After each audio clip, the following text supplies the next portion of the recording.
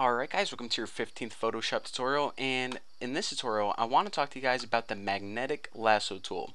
It's right under the polygonal lasso tool so make sure you have that selected not the basic lasso tool and what this tool basically allows you to do is it allows you to follow along a certain object and it's going to snap along the edges. So this actually works really well when there is really good contrast in your image. So for example if you wanted to select the hair from her shirt. You see how the hair in her shirt are basically the same color? It's not going to be able to detect that very well. But if we want to single out this post-it note, we can go ahead and do that because the post-it note is bright yellow and it's clearly defined against the background.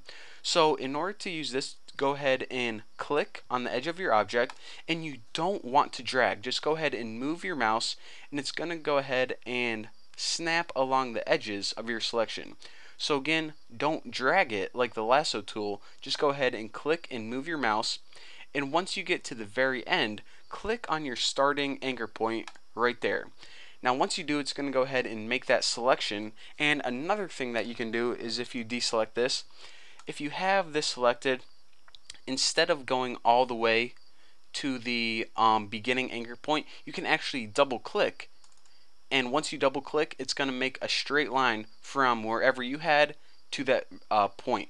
So basically that's how you use the magnetic lasso tool and it's awesome for making something with very high contrast. So now if we wanted to select the inverse and cut we can go ahead and do that and we can have that post-it note singled out. Now just so I showed you guys a good example let me show you guys where this wouldn't be a great example. Here is a photo of my puppy, old Dan. He's a little bit older now, but if we wanted to use the tool right here, as you can see at the very beginning, the image right here has a lot of the same colors.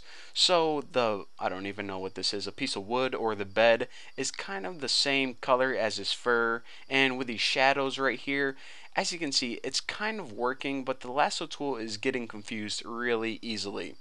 So if you're uh, image has a lot of the same colors like browns in the background in the foreground. You probably want to stick with the basic lasso tool but for tools that are I mean excuse me for images that are very high in contrast and you want to select a certain portion of it the magnetic lasso tool is easily your best bet because it makes it so much easier. You don't have to concentrate so much on moving your hand perfectly where you want it to but for now, thank you guys for watching, and in the next tutorial, I'm probably going to be covering the polygonal lasso tool. It's going to be awesome, so I'll uh, see you guys in the next video.